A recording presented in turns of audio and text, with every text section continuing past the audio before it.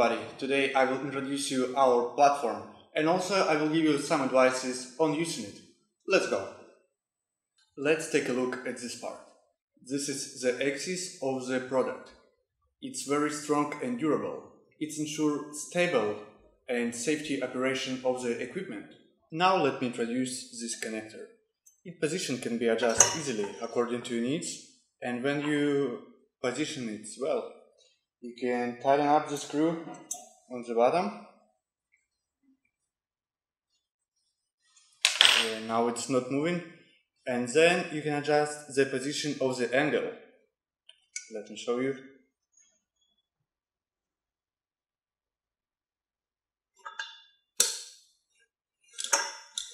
On the top vertical rod have 3 8 screw that will be capable with any gimbal you use. Let me install my own gimbal.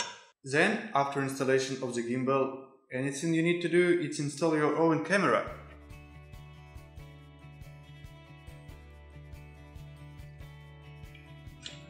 After installing the camera, we need to balance it.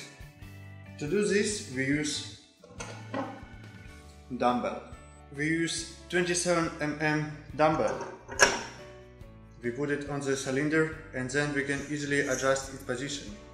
When we find right position, right balance, all we need to do is tighten up the screwdriver on the bottom. And now it stands still. And now we have perfectly balanced equipment. Also we can use background board. You need to put it on the cylinder and then tie up the screw.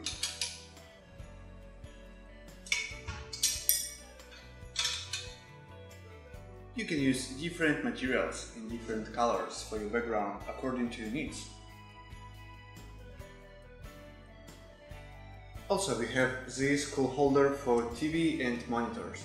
You can use it for making action backgrounds.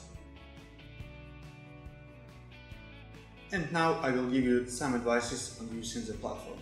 For the best result, put your object in the very center of the table. When you adjust the camera, be sure it forwards straight on the object. You can use this rod as a guideline. Also, make sure you don't push the camera, but you push the bars. If you push the camera, it can make your picture shaky and unstable. When you film a model, please ask her stand in the middle. If she stands close to the edge, it can be dangerous and picture can be shaky.